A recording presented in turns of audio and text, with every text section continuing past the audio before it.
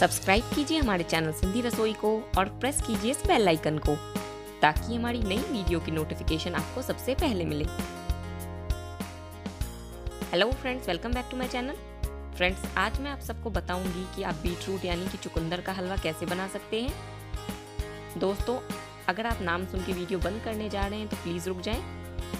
मैं आपको बता देती हूँ कि बीट रूट का हलवा भी गाजर के हलवे के जितना ही टेस्टी बनता है।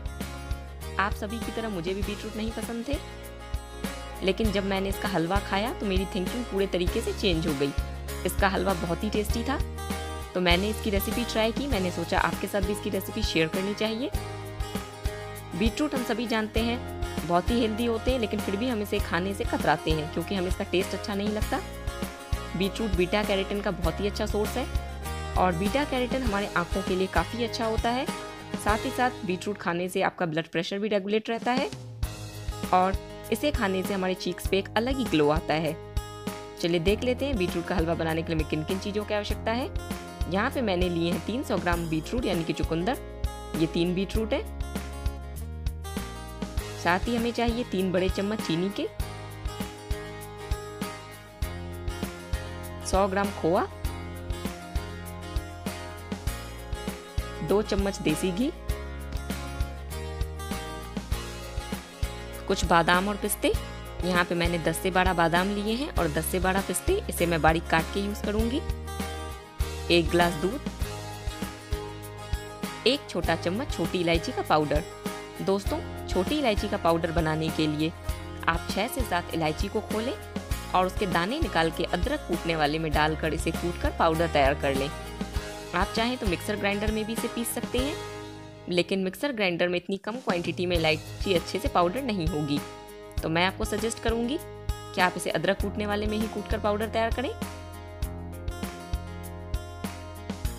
चलिए हलवा बनाने के लिए सबसे पहले हमें बीटरूट को ग्रेट करना है तो हम उसे ग्रेट कर लेंगे। बीटरूट को ग्रेट करने के लिए मैंने यहाँ पे बड़े वाले ग्रेटर का यूज़ किया है। आप भी बड़े ग्रेटर से ही इसे ग्रेट करें। तो आपका हलवा काफ़ी अच्छा बनेगा।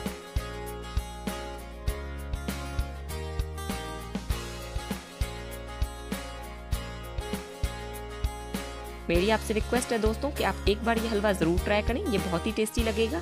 अगर आपको गाजर का हलवा पसंद आता है तो आपको बीटरूट का हलवा भी बहुत अच्छा लगेगा।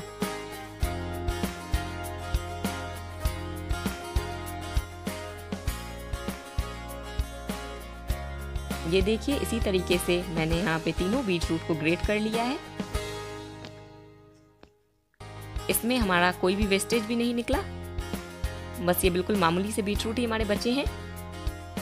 जैसा कि मैंने बताया, आप इसे बड़े ग्रेटर से ही ग्रेट करें तो आपका हलवा ज़्यादा टेस्टी बनेगा।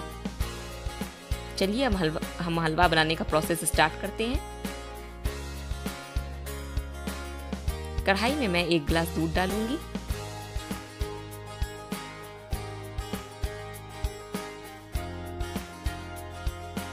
दूध को हमें उबलने देना है। ये देखिए, दूध बॉईल होना शुरू हो गया है। जैसे ही आपका दूध बॉईल होने लगे, आप इसमें कद्दूकस किए हुए बीट रूट डालें।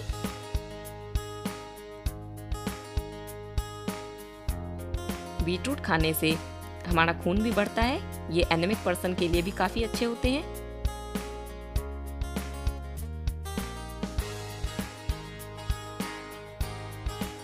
अब मैं इसे बिल्कुल अच्छे से चला लूँगी, ताकि दूध के साथ बीट रूट बिल्कुल अच्छे से मिक्स हो जाए।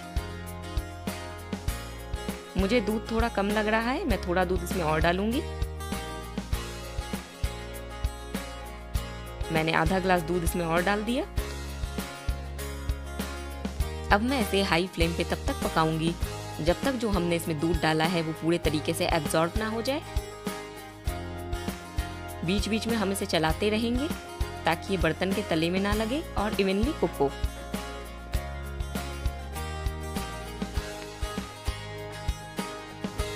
दो से तीन मिनट हो गए। वापस से मैंने इसे एक बार चला लिया। जब तक बीटरूट में जो हमने दूध डाला है वो एब्जॉर्ब होता है, तब तक हम खोए को भी ग्रेट कर लेंगे। ये देखिए दोस्तों, मैंने खोआ को भी ग्रेट कर लिया है और इसे मैं अलग रख दूँगी। आप देख सकते हैं। अभी इसमें काफ़ी दूध बाकी है। इसे मैं फिर से चला ले रही हूँ। और इसे हम तब तक पकाएँगे जब तक इसका पूरा मॉइस्चर एब्जॉर्ब ना हो जाए।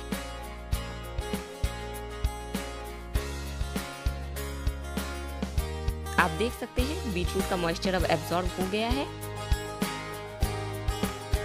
इस समय मैं इसमें दो चम्मच देसी घी के डालूँगी। अगर आप पिघला हुआ घी यूज़ कर रहे हैं तो आप चार चम्मच डालें।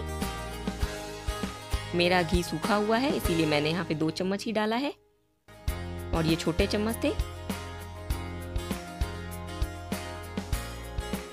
घी भी अब मेल्ट हो गया। अब मैं इसे अच्छे से चला लूँगी, ताकि इसमें जो भी मॉइस्चर है, वो भी एब्जॉर्व हो जाए, और घी अच्छे से हमारे हलवे में मिक्स हो जाए। अब मैंने अपनी फ्लेम को मीडियम हाई कर रखा है।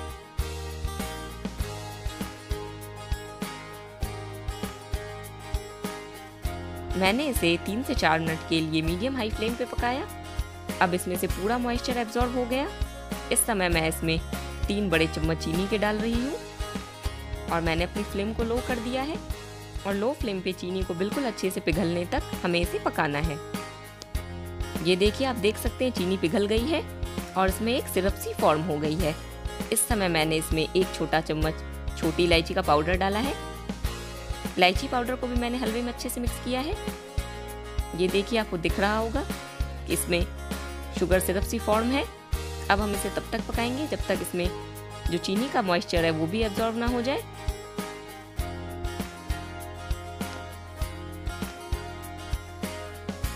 आप देख सकते हैं हलवे का कलर कितना ब्राइट है। चीनी का मॉइस्चर भी अब तकरीबन एब्जॉर्ब हो गया है। जो हमारे चीनी में से पानी निकला था, वो अब सूख गया है। इस समय मैंने इसमें खोआ डाला है और फ्लेम को मैंने लो रखा है। लो फ्लेम पे मैं इसे अच्छे से मिक्स करूँगी और इसे हमें तब तक पकाना है जब तक खोआ बिल्कुल अच्छे से मेल्ट ना हो जाए और वो हलवे के साथ बिल्कुल अच्छे से मिक्स ना हो जाए।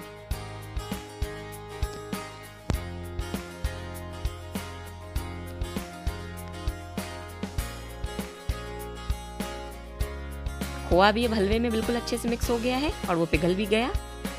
अब मैं इसमें ड्राई फ्रूट्स डाल रही हूँ। थोड़े से ड्राई फ्रूट्स मैंने बचा लिए, वो मैं गार्निशिंग के लिए यूज़ करूँगी। ड्राई फ्रूट्स को भी हम अच्छे से मिला लेंगे। अब फाइनली मैं इसे लास्ट एक मिनट के लिए कुक करूँगी।